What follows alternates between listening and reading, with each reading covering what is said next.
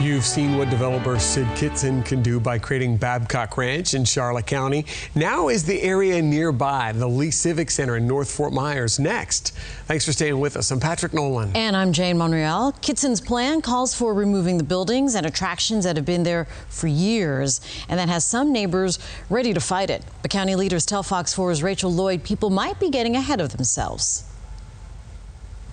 To Michael Thompson, this 100 acre plot is more than just the land surrounding Lee Civic Center. It's bright lights and Ferris wheels when the fair comes to town every year. But when the sun comes up, he says it doesn't look the same. When you drive by it, it's like, wow, you know, is, is, that really the best they can do? Newtown. Syd Kitson, owner and developer of Babcock Ranch, just 15 miles away from the Lee Civic Center, plans to spruce up the area. He wants to turn it into a hotel or resort with retail space. Thompson is on board for upgrades, but not at the cost of big events. The folks out here, they enjoy, you know, the more rural lifestyle. They enjoy, you know, having their children enrolled in 4-H you know, they enjoy going to gun shows. They enjoy going to boat shows and RV shows and home and garden shows. Thompson was upset when he learned Kitson put in a proposal for the land. Lee County owns it and it's currently managed by the Lee County Fair Association, but their lease ends this year. According to Kitson's 50-page proposal, he will remove the main event center, the Lee Expo Center, and horse barns, among other things. No decisions have been made yet. Commissioner Brian Hamman cleared some things up on Facebook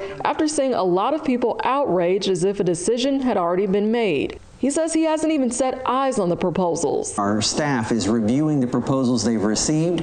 Uh, they're looking at them and vetting some of the ideas that were put forward. Once all of those things get worked out and vetted, then it goes to the next step in the process, which is where it gets proposed to the commissioners. Hamman was born and raised in Lee County, and he says the Civic Center was also a staple in his childhood. He says no plan to change the Civic Center will be approved unless it spells out the plans for the exact programs Thompson wants to preserve we need to remember that at the end of the day, if it's something we don't like, we can always vote against it. Hamman welcomes Thompson and anyone else interested to the proposal presentation happening Friday. This is a public facility. It's their facility. They should definitely have input into what happens there.